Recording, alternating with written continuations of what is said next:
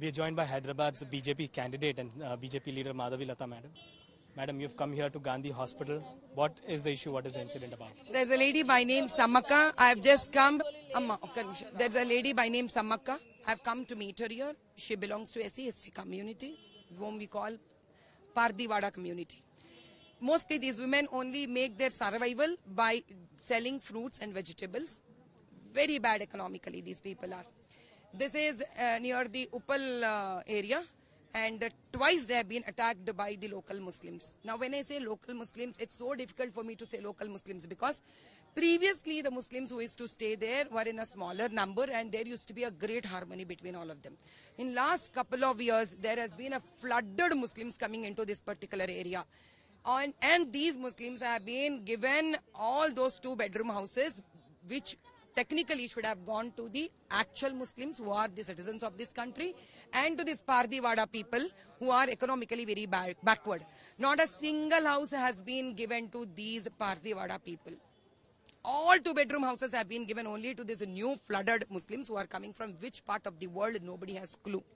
Their voter IDs have been made, their ration cards have been made. Now, eventually what's happening is they are not letting these Pardivada Hindus to survive there. They don't let any kind of flags to put on their houses.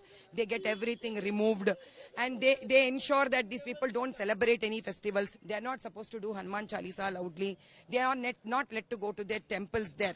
Yesterday was the issue of a Holi celebration where the young girls were, you know, participating in the Holi celebration with some songs and dance.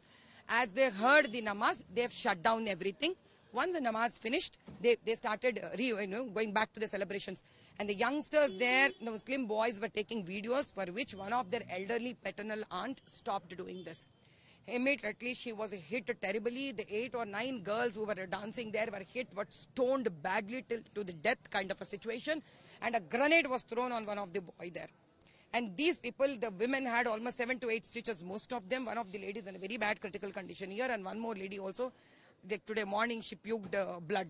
When this question was raised and asked to the, all the atrocity of us, that police have started assaulting and beating the Pardivada people only.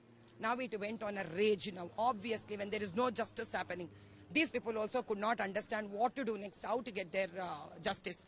Today morning, when I've come to know, immediately I rushed to that place. They didn't let me go. Then I had to walk onto the road for three and a half kilometers distance. Halfway, then they let me take my car back.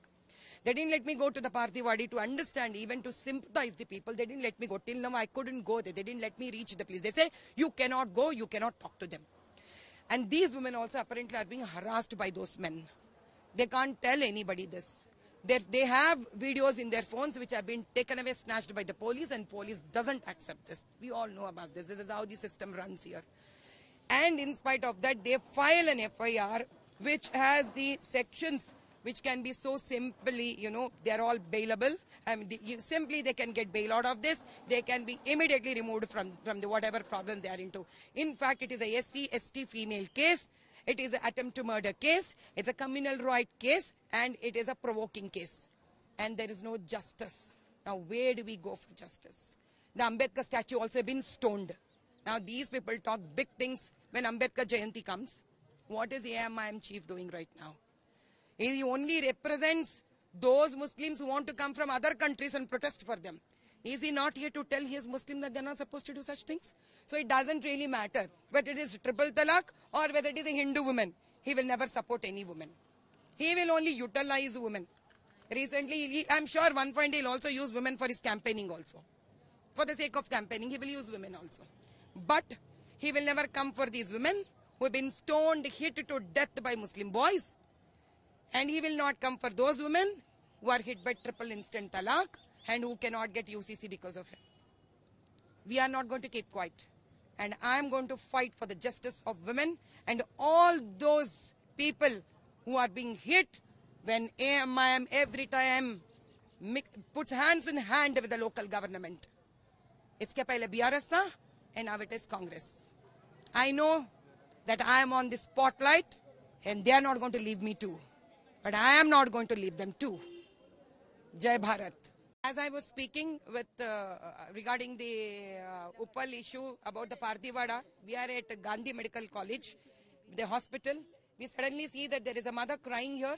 Her son has been yesterday brutally cut open, all the intestine thrown out by a Muslim boy. And he apparently comes down, he, he was then questioned by police. He says that, yes, I have done bloody well, do whatever you want. And this boy has been sent here, dead. Where is the photo? That boy has been sent here. And, and, and what is most important is, kal se, since yesterday, they are doing his postmortem. Now, I don't know what is that medical science which does postmortem till from yesterday till today. And they have not given the body to the parents yet. ఎంత వయసమ్మా బాబుది eighteen year old boy, अठारह साल का बच्चा काट काट कर फेंक दिए हैं। कल से पोस्टमार्टम कर रहे हैं उस बच्चे का इसी अस्पताल में, जो बालानगर के हैं, हैदराबाद के हैं। आज तक बच्चे का बॉडी पेरेंट्स को दिया नहीं गया है। अभी बताइए, न्याय कहाँ है? न्याय कहाँ मिलेगा हमको?